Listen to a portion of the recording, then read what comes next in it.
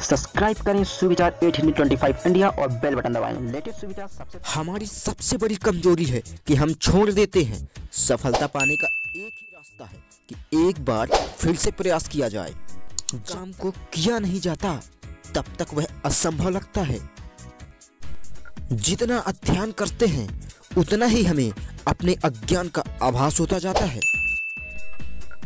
जिसके पास श्रेष्ठ विचार रहते हैं वह कभी भी अकेला नहीं रह सकता। प्रेम की शक्ति हिंसा की शक्ति से हज़ार गुनी प्रभावशाली इंडिया और बेल बटन दबाएँ। लेटेस्ट सुविचार सबसे पहले पाएँ। संसार में ना कोई तुम्हारा मित्र है ना शत्रु। तुम्हारा अपना विचार ही इसके लिए उत्तरदायी है। जो व्यक्ति शक्ति ना होते हुए भी मन से हार नहीं मानता उसको दुनिया की कोई भी ताकत नहीं हरा सकती।